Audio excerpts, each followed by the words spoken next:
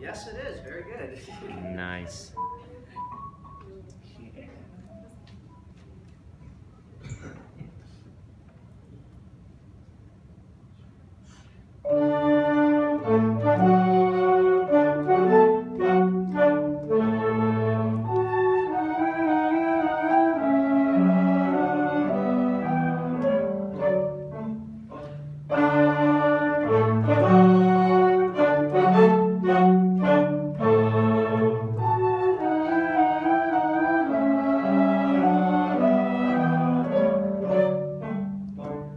Good, good, nice and clear.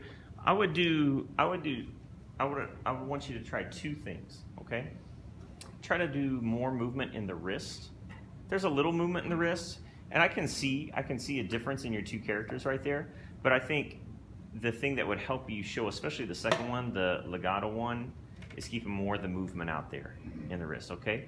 And then the second thing is that it's going to become more and more important as use as we use facial um, expressions to keep to keep your eyes up. Okay, so that back of the neck back here, keep it up and back. Okay, and then also promotes good posture for you and for them and everything. It's just keeping those eyes up. Yeah. Especially if you have, for those of you that wear, is anybody else? Yeah, we got some glasses people, right? The glasses thing can be um, can be an inhibitor sometimes. I'm not saying it's a bad thing. I need glasses badly. I'm going to get them. Um, but I'm not saying it's an inhibitor, but but it does it does block one of our expressive um, qualities, right?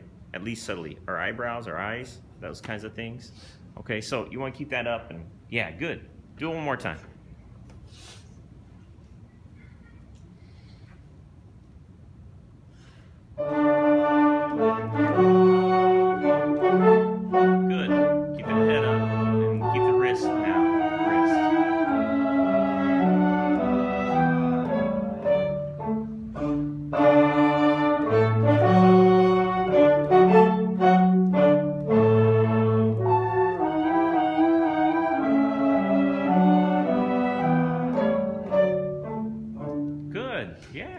Like that.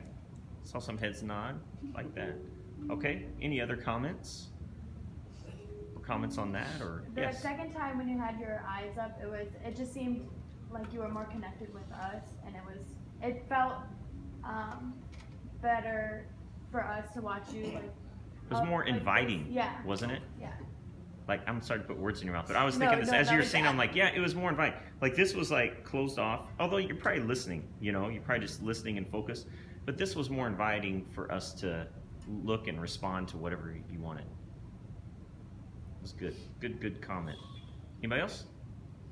Okay, good job, Mitch. It was nice.